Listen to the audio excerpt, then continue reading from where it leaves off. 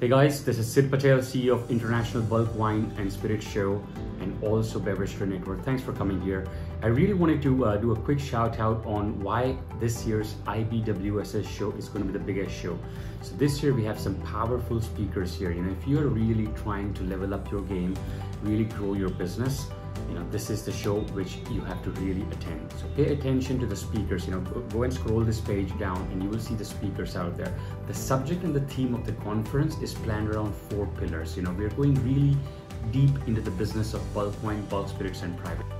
So if you have anything to do with bulk wine bulk spirits and private label you know buying or selling or even getting into it or even starting you know a private label offering in your winery this is really the show which you want to attend more importantly what's going to happen this year is you know there are lot, lots of movements happening around sustainability around private label around small batch. So everything is going to come and play here you know. So we're going to really have deep discussions around what other companies are doing. You know some big companies how they are practicing this you know how they've grown and you know how new buying is happening around this national chains. Like what is target buying? What is their sustainability policy? You know what is walmart doing right? So so this is where we really talk business of the business.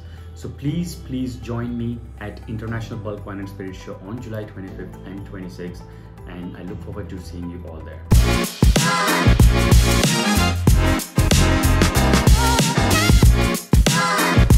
Hey guys, welcome to the Wine, Whiskey, and Weed Show. This is your host, Sid Patel. I have a very super special guest here. You know, we're going to talk with Shreyas Balakrishnan. He's the president of Cutwater Spirits, the number one canned cocktail in America. And I'm going to talk with him about how he's leading the growth here.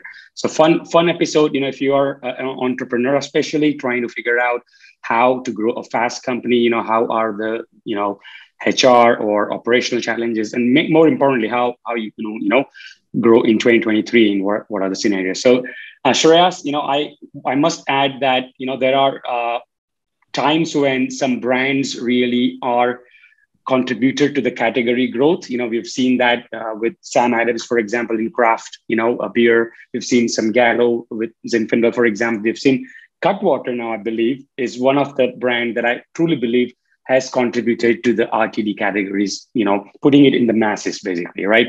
So uh, big, big uh, thank you for growing the category. And I'll uh, have this on to you. Just give us a little context about your journey. You know, uh, you are now leading the number one canned cocktail brand in America. So walk us over, give us a little a story about yourself. Well, thank you. Thank you, Sid. Thanks for having me. And it's a pleasure to be on, on this podcast. And as you mentioned, I'm, I'm currently the, the president of Cutwater Spirits uh, based out of here in San Diego. Um, we are a fully owned company by Anheuser-Busch. Um, and my journey in the alc space started 19 years ago uh, with Anheuser-Busch. I uh, graduated with a mechanical engineering degree and and uh, got my a dream job for any recent grad is and started as an experimental brewer for for AB. Um, in, in St. Louis. So, you know, day in, day out, hands on making beer, uh, right? So, the best way to learn. Um, and, you know, when you had the choice of the top ingredients, uh, best equipment, um, and then most importantly, some, you know, experts in the field, uh, the staff brewmasters of Anheuser-Busch for like, in-class learning. So not just brewing process, but the science, the art, uh, and technology of brewing. So it was a, a great opportunity uh, to really understand product, process. Um, and then I got the chance to go to Los Angeles Brewery for kind of my first big brewery assignment and spent several years there with a great team, um, you know, managing different parts of the brewing process, um, doing something, you know, uh, that I went to school for. I did some engineering, so I graduated with a mechanical engineering degree. So I've always had, you know, kind of love for process and operations. Um, so really running running different parts of the brewing process in, in a large facility um, was an amazing experience. Uh, did some capital projects, some process improvements, um, and, you know, it was again, a great experience. The next step, I think, in in understanding scaling of, of, of beers and but then I got another opportunity to to switch to the distribution side of the business. And you know, even though I had had the love for process and operations, I really wanted to get the full picture of the beer business. So mm. um, this was still in operations, running the warehouse and distribution side uh, of company-owned wholesaler, uh, first in LA and then in New York uh, City. And um, this was a great opportunity to really understand the complexities and challenges of the last mile, uh, but also get an exposure to the sales side of the business mm. and understand retailers and interactions with retailers as well. Uh, and, um, you know, wonderful experience there. Then I got to combine all those things together as I led the uh, integrations for for North America for for acquisitions in North America. Mm-hmm. This is during a time we were partnering with some craft breweries uh, across the country, um, and so really combining all of my past experiences and ensuring that you know we had very smooth uh, integrations with with these brewers, really uh, elevating them to you know national breweries uh, as, as we've been able to do over the last few years. And one of them was Elysian Brewing Company, you know, well, well regarded brewer, mm-hmm. you know, somebody that I've, I've known uh, even growing up in, uh, in, in, in, Georgia. And um, the founders asked me to come run the business there as the president general manager.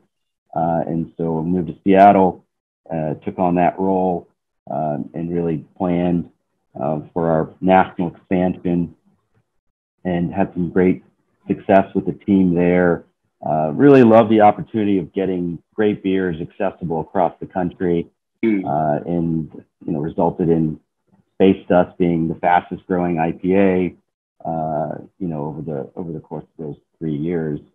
Uh, then in 2019, here comes my next dream job. Anheuser-Busch partnered with Cutwater Spirits, so I had the opportunity to go beyond beer uh, and take on my current role as, as president of uh, Cutwater Spirits uh, here in San Diego. So, uh, similar kind of role um, coming to understand how we best expand the brand uh, across all 50 states.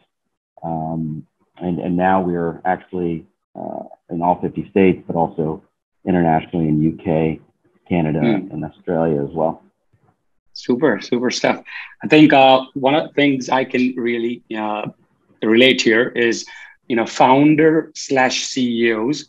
You know, you you check those boxes because you've done everything. So that way, I think it was very easy for someone to put you in that seat. You know, it's just not like operations or sales or marketing or this and that. You've actually touched a lot of points. I can see that. You know, you've done everything, so you you can talk you know about the to the retailers because you exactly know how it works. Distribution you've done you've done the you made beer you know so it's it's it's an amazing uh, thing which usually usually you know founders learn themselves and you've just learned and you've just been there. So fantastic. One thing i'm really curious before we step into what exactly do you do in cutwater is uh, the conversation that you had you know sort of what sort of interview happened or what sort of meeting i'm sure it's on a casual setting or whatnot right i'm very curious about uh, what was the expectations and how did that meeting look? Hey, Shreyas, you know, we're going to grow this brand, blah, blah, blah. I need you to do this five things. Can you do it? So well, give me some meat there about what were the expectations uh, that can you do this job? Yeah, and I want to take that back to so yes, I have had great opportunities to understand the whole business, but I have not founded a, an organization. I think what what was really important in in both these roles for Elysian and and in Cutwater is um, is ensuring that the founder vision, the founder's vision, and um, what made the brand successful to the point and, and time that we had the partnership was carried through uh, mm. when I was when I joined the organization. So really, that those were the main conversations is with the founders, Got and it. and really understanding their vision, you know, the the culture uh, of the organization.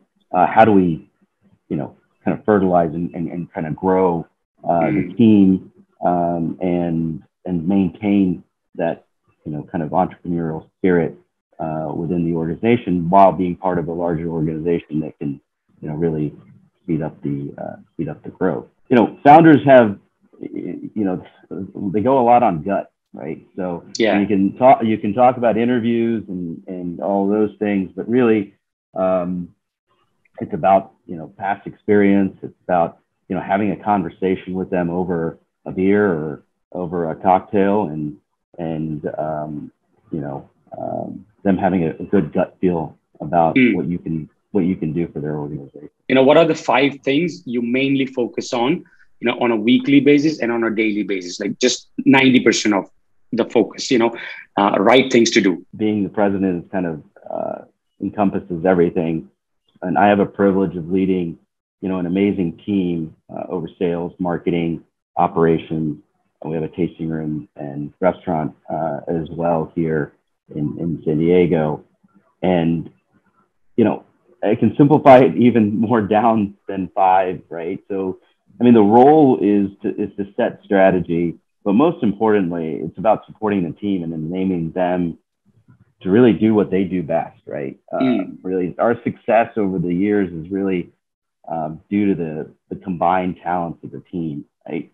Um, so it's really about you know set strategy. If you want to break it down into five strategy, it's about support uh, for the team and finding the resources and and uh, allocating resource allocation um, and kind of clearing clearing obstacles, right? Uh, any obstacles in the in the past, plus planning for the future, right? So you know we have to look ahead. Uh, Hmm. How, so, how, much is how much is the daily firefighting?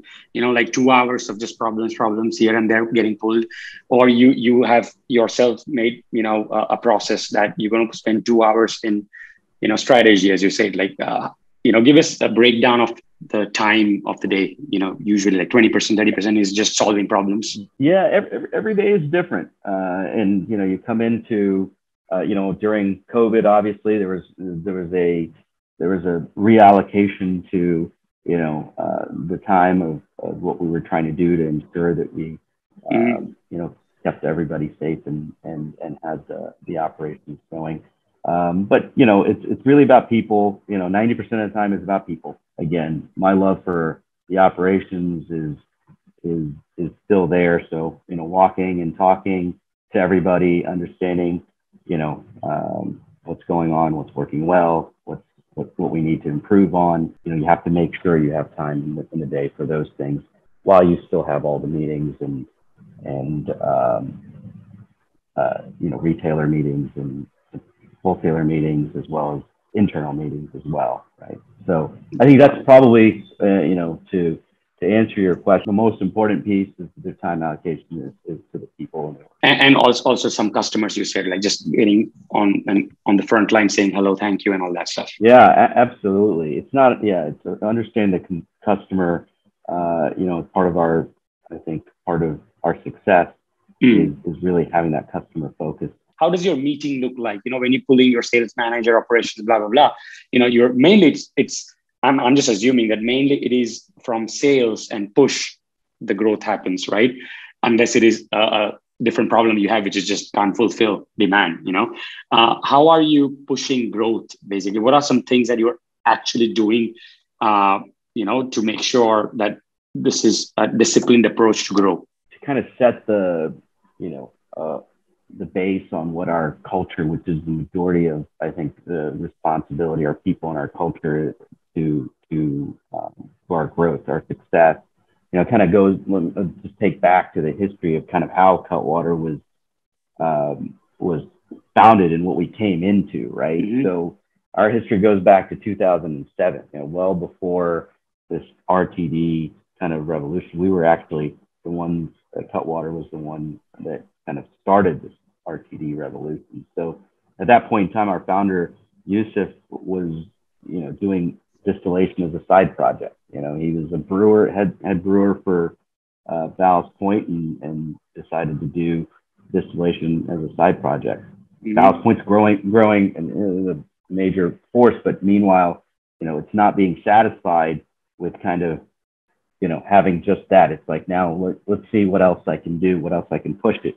and and really with limited resources, you know, he took a fermenter, turned it upside down, welded this. I mean, did all this by hand, right? Heating jacket on it, and made his first still. And we used that still all the way till a couple years back when we had to to scale it up and, and get a new still. But this is this this you know kind of culture of of innovation of of, of really um, not being satisfied with you know what what you have uh, and and really um, pushing the boundaries right and that led all the way till 2017 when we started Cutwater Spirits as its as its own brand and you know uh, and we started with four cocktails but you know out of those four cocktails the other piece of, of the never being satisfied we continue to continue to innovate and out of those four cocktails that we originally started with i think only uh, two of them still exist right so it was about this this culture uh, again, as I mentioned, of really not being, you know, looking at the consumer first. And saying, you know, what can we provide uh, the consumer, you know, and really making them the centerpiece of the of the um, of what we're doing, and not being, com- you know, complacent, constantly innovating, making improvements to um, our product, our processes. So that really is like what we to set the base that's really what we try to continue to to cultivate here right so you know we have our daily operations and, and things that we have to meet and uh, but we also have, don't lose the sight of having the time for creativity uh, and, and continuing innovating uh, but also you know having fun right so we're in we're in a fun industry mm. and and really uh, you can see the passion in, in our people and, and everything that they do. And um, really, this ownership mentality of, of the product and it kind of bleeds through to everything that we do, right? Um, hmm. So, you know, the, the kind of the structured, you know, meetings and, and things like that, they're, they're part of, a business.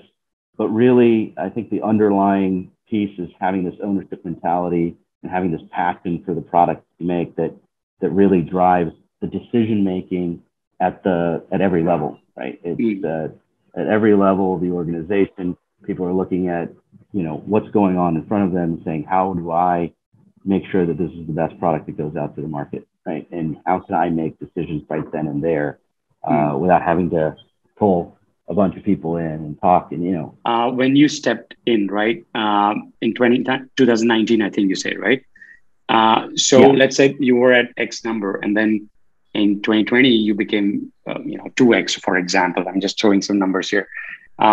Did you decided that okay, this is where we have to go? Now let's start reverse engineering. That how many people we need, how much money we need, how many more markets we need to open, how many more products we need to, you know, uh, apply the portfolio strategy and so on.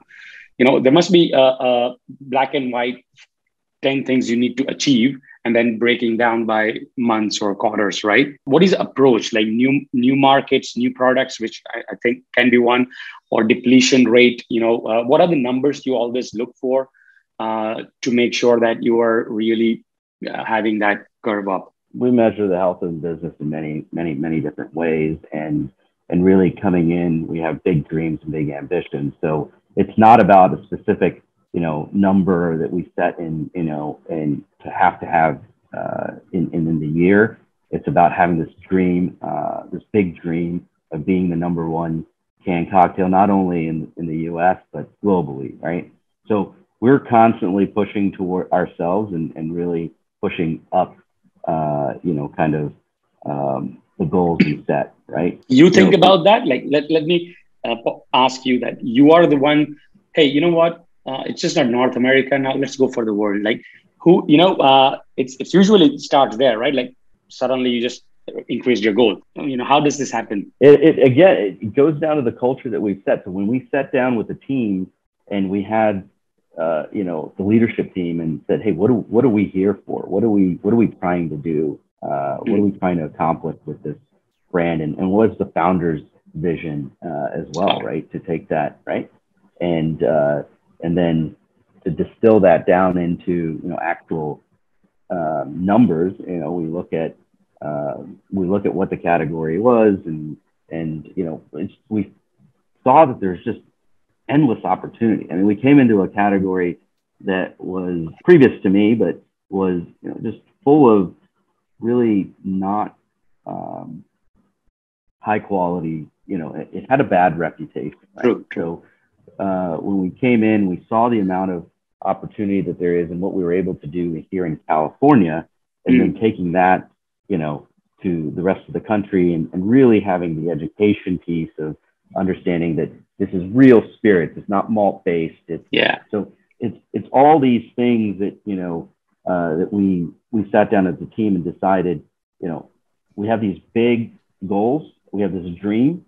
Uh, and it shouldn't be limited by you know a number. We're going to meet. We're going to meet our goals. We're going to you know whether it's going to be we might meet them in six months. We might meet them in the year, uh, or it might take a, a little bit longer right? But let's make sure that every step we're doing is is in order to really expand the categories, to you know be the the leader, uh, to help the consumer navigate the category, to help the consumer understand what real spirits, real canned cocktails can yeah. be. Right? You believe in momentum uh, and timing, right? So I think we you are we are right now sitting in 2023 the most predicted high growth RTD like year. So I'm sure like with Budweiser backing up or you know whatever it is, I'm, I'm sure you're going to put acceleration there, right? So how are you playing or what what's your thought on as a business leader about timing? Let let's go. No matter what, even if I break even this year, I got to gain the market share. How do you think about those kind of things? The category is expanding very rapidly, right? Uh, and when we were you know coming in, uh, we were the ones that were kind of growing the space and growing the category, right? So yes, I mean at that point in time, it's we have momentum. We need to keep that momentum going, and we need to uh, continue to be the leaders, right? Um, and then yes, about investment uh, at the point in time is we make investments, but we make them with the long term uh, long term view.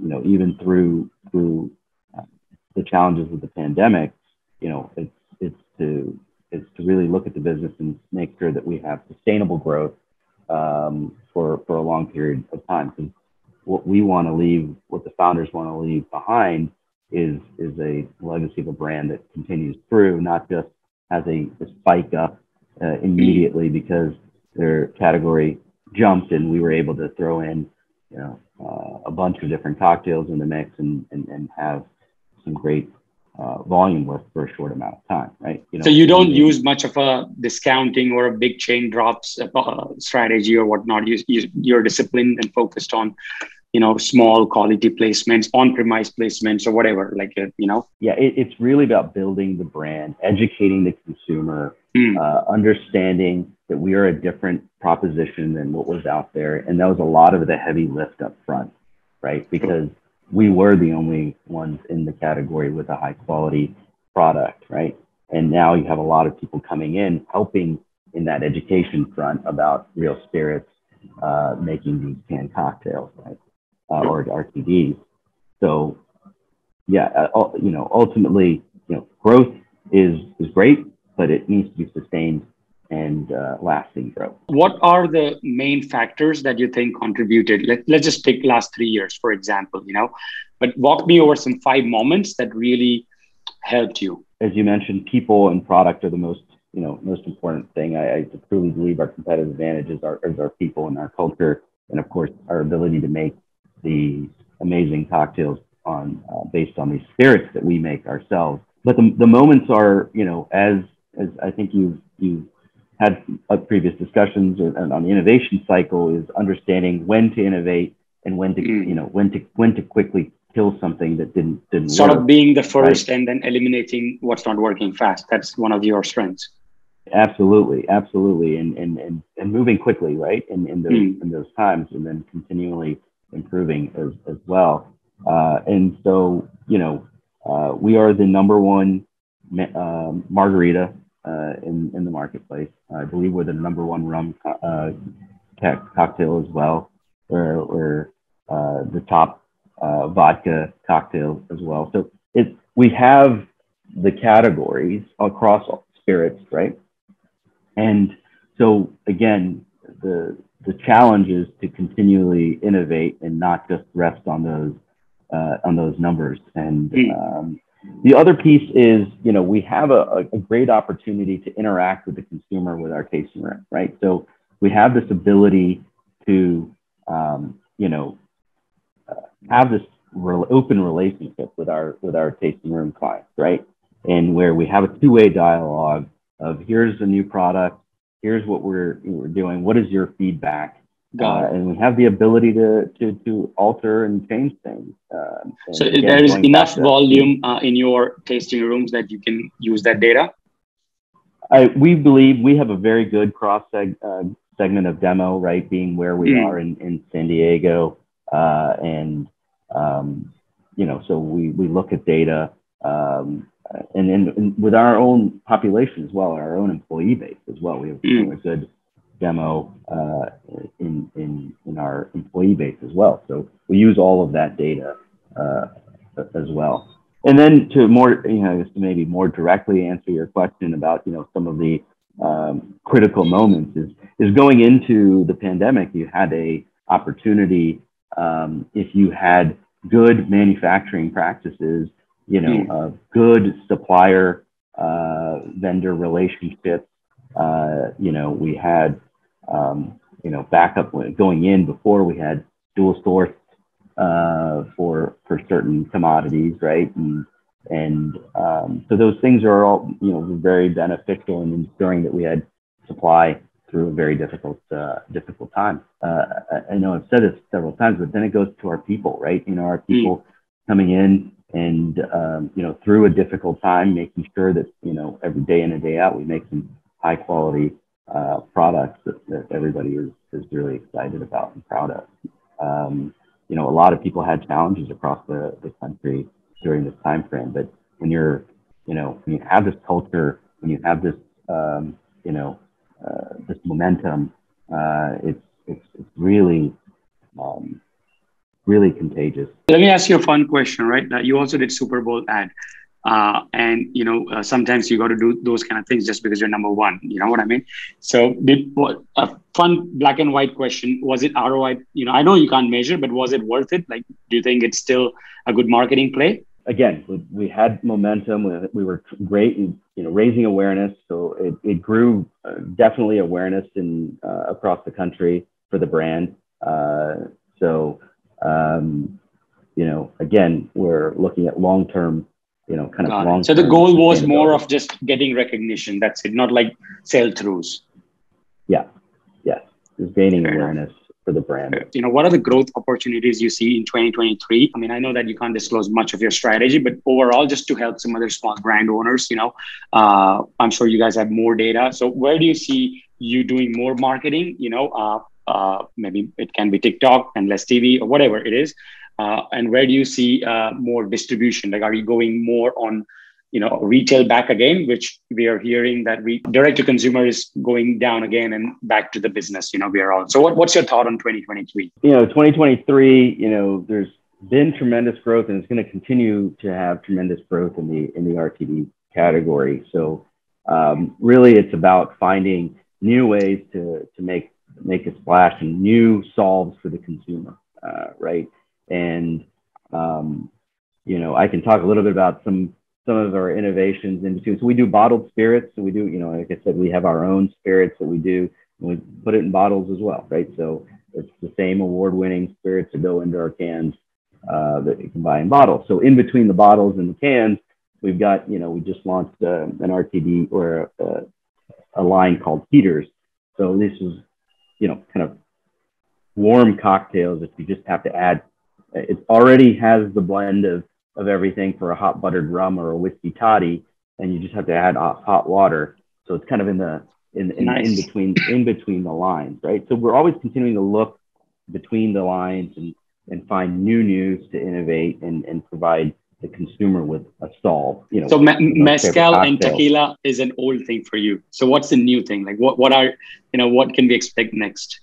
Mezcal still, you know, obviously has a ton of opportunity to continue growing, right? So, uh, but we are we are just uh, just talking with our our, our partners down in, in Mexico about Sotol, uh, which is uh, you know I think some of the some of the new hot trends, right? But but again, these are these are again we're these are smaller things versus um, you know long sustainable sustainable growth.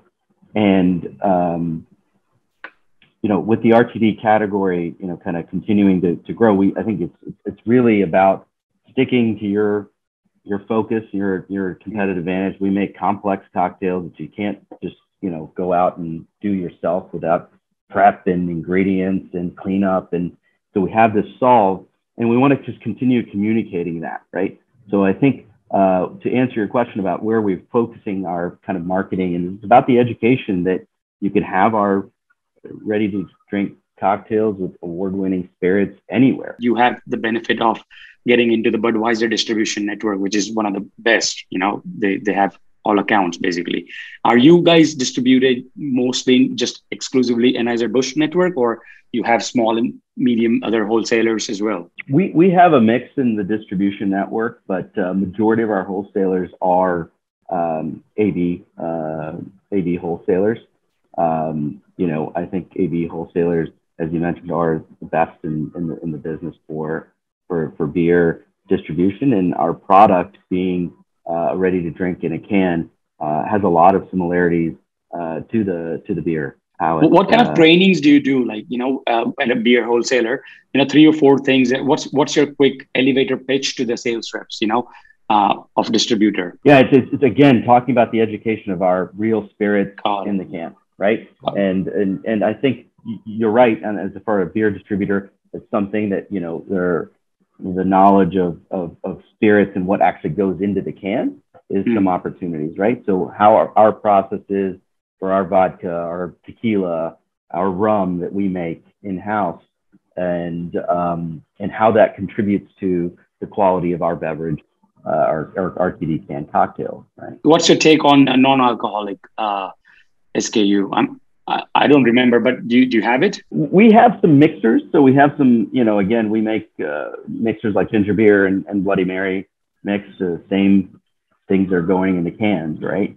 Uh, so we actually have a non uh, or mixer line or non-alc line, and uh, they do well. And uh, you know, of course, you see the the trend right now with dry January just finishing with a mm-hmm. lot of non-alc in the space. I think it's an interesting uh, interesting category and, and something like I said, we're always. I think I, I, think for sure it looks like, especially the UK and other international. Like if you had, I can imagine Cutwater, no alcohol gin, no alcohol tequila, no, just that word, you know, using that boom uh, can yeah. be. Uh, I, I can't. Sure. I can't. I won't dive into. it. But We're always innovating, so that's that's not out of our uh, out of our realm. So we are definitely looking at that as well. You know, any things that you would want to add for the small and medium-sized brands, you know, in RTD space who are trying to collectively grow the category. You know, what are your tips for them? Yeah, I, I think that's the that's the ultimate goal is to grow the category, right? It's not in between. There's plenty of space within the category.